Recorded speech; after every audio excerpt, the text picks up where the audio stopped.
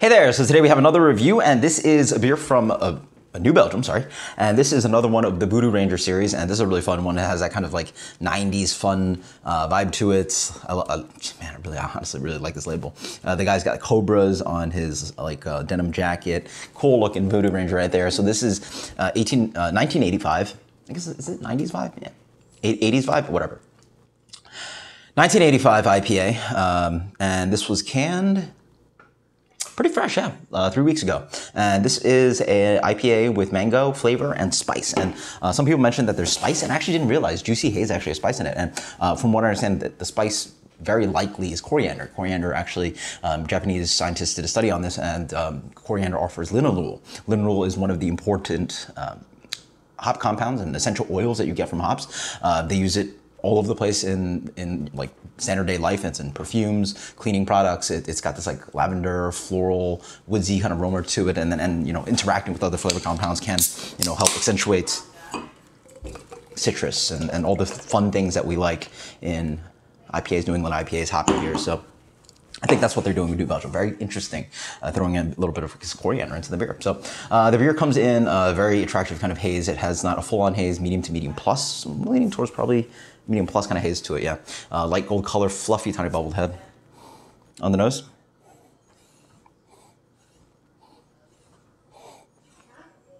The initial note I get is this kind of like, it's interesting.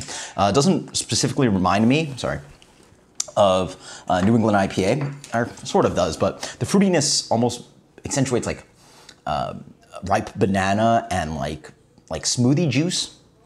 Yeah, there you go yeah, there's the mango flavor that they use here in, in, here is just very tropical. It's very ripe.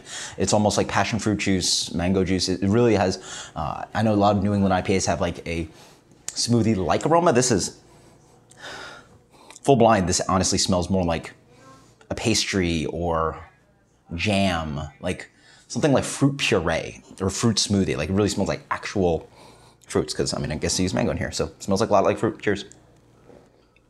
A lot like mango. Um, on the palate, yeah, it's weird. It's that flavor up front plays in again. This is really bright, candied mango note in there. Mm. Yeah. It's not too bad. It's actually, surprisingly enough, it's not too intense to make it like too confectionery, but it, it's just such a um, um, jagged note up front that almost tastes like artificial. Like it, it just like punches you in the face with that little bit of like mango. Yep. But it's like, yeah, it's like mango smoothie mango, not like, hey, I'm gonna bite a piece of mango. So like it's got this like tropical fruit, uh, you know, tropic uh, Tropicana blended fruit. They like they sell that. It's like got like mango, pineapple. You know, like they, it's like got that kind of um, tropical fruit punch uh, smoothie kind of vibe to it. Mixed juices kind of vibe to it. Uh, in general, underneath is actually not that crazy of a New England IPA. Underneath it, got a little bit of like light. It's actually not that like. Um, flavorful of a beer after that. It's really defined by that uh, jagged note up front. And then it rides into a little bit of that like white breadiness, a little bit of that kind of creamy smoothness, that wheat body tone, um, that wheat body note, um, wheat flavor note with the body as well, wheat slash oats, whatever high protein adjunct they're using, and then like the void bitterness. So, um, pretty crushable though, I'll say that. Um, 6.7% dangerous stuff. Yeah, you can definitely get in trouble with the six pack on this one. It's just got this like nice kind of like punchy fruity note to it. It's actually not a bad idea considering that I assume hops are. I mean, not for a fact, hops are very expensive, and instead of like throwing like you know five pounds per barrel, you just get that like a nice kind of like Tropicana kind of note in there with the mango flavor that they're using, and it's not overly dominant. It's not overly fake. It plays pretty well, and it makes a generally not too spectacular New England IPA pretty good. Until next time, guys. Cheers. This one for me gets a That's pretty good.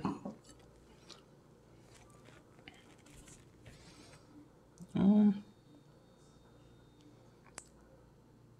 91? 91. 91. This is uh, New Belgium Voodoo Ranger 1985 IPA. Until next time, guys, cheers. Let me know what you think. This one's a fun one. Later.